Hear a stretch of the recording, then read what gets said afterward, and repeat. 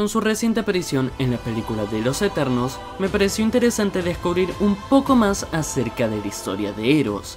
Por eso quédate en ese video si quieres saber quién es ese personaje, su origen, sus poderes y qué le depara a Star Fox en el universo cinematográfico de Marvel.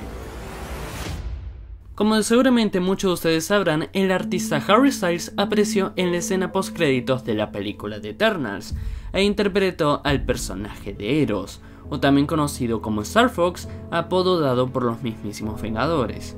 Este personaje haría su primera aparición en las viñetas en el cómic Iron Man número 55, publicado en enero de 1973. Ya pasando su historia, Eros es un eterno que vivió en la luna de Titán durante gran parte de su infancia. Él es el hijo menor de Alars y de Suizan, y también es muy reconocido por ser el hermano de Thanos. Pero ¿cómo sería posible que este personaje sea el hermano de un gigantesco tipo con piel morada? Bueno, la respuesta es más fácil de lo que parece. La apariencia física de Thanos se debe gracias a su mutación. Él es mitad eterno, pero en sus genes encontramos rasgos de los defiantes. Vamos, resumiendo aún más, el titán loco vendría a ser un híbrido entre ambas especies, o por lo menos así sería en su versión de los cómics. Eros creció siendo un mujeriego despreocupado por la vida, él sería un amante de la diversión y también de la manipulación. Juntando todo esto y su poder de controlar la mente lo convertirían en un sujeto muy peligroso y manipulador de las emociones y de los pensamientos, capaz de aprovechar su habilidad para que diferentes seres se enamoraran de él. Todo eso para tener un momento de pasión con ellas. Solo cuando Thanos lanzó su primer gran ataque a la luna titán y descubrió que este mismo había asesinado a su madre, Eros comenzó a tomarse la vida un poquito más en serio. En las siguientes peleas contra el titán loco, Eros luchó junto a un grupo de supervivientes de Titán y posteriormente se unió al Kree Capitán Marvel y a los Vengadores en lo que fue la primera gran derrota para Thanos. Durante todo ese tiempo y durante largos meses, Star Fox fue reclutado por los mismísimos Vengadores, y también conocería en ese lapso de tiempo a su gran amigo Pip el Troll, personaje que por cierto vimos junto a Eros en la escena post créditos de Eternals.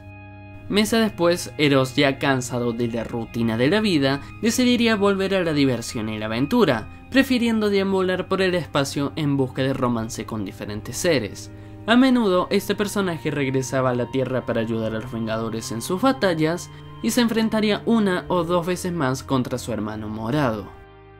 Finalmente, tras la muerte de Thanos a manos de Gamora en el reciente evento de Infinite Wars, Eros reveló que la memoria y el alma del titán loco había sido introducida en uno de los personajes cósmicos de todo el universo Marvel.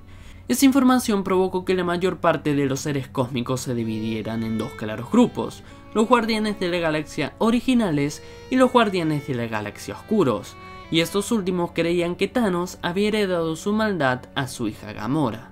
Sin embargo, lo que no sabía Star Fox es que Thanos había guardado su memoria y su alma dentro del mismo, dentro de su hermano Eros, hecho que posteriormente descubriría Gamora, obligándola a asesinar a su tío para acabar de una manera definitiva con Thanos y que por cierto el personaje de Star Fox, o también conocido como Eros, actualmente sigue muerto en los cómics de Marvel. Ya pasando con sus poderes, es cierto que menciona que Eros tiene la habilidad de controlar y manipular la mente de otros seres, pero su poder no sería tan así como se lo acabo de decir, sino que sería algo mucho más técnico, Star Fox puede simular únicamente los centros de placer de los cerebros de las personas más cercanas a su alrededor, haciéndolos persuadir hacia su voluntad. Esos poderes son muy similares a los de Druig en la película de los Eternos, por lo que no me sorprendería si Marvel Studios decidiera adaptarlos de otra manera. Por último, y como los demás Eternos en los cómics de Marvel, Eros tiene la resistencia, agilidad y regeneración sobrehumana, pero esta última no lo hace inmortal, ya que puede ser herido gravemente con espadas, balas y otros objetos contundentes o afilados. En la serie de Capitán Marvel vimos al personaje de Star Fox con la habilidad de volar, esto ya que podía manipular gran parte de la gravedad. Personalmente yo no descartaría que tomen como inspiración esos poderes para introducir a este personaje en el universo cinematográfico de Marvel. Y bueno, eso sería todo por mi parte en esa ocasión. ¿Están emocionados con la aparición de Harry Styles en el UCM? Y si es así y si te gustó este video, no olvides de dejar tu like y suscribirte al canal que de esa forma me ayudan muchísimo a seguir trayendo nuevo contenido. Y sin nada más que decir, muchas gracias por ver y nos vemos próximamente con más.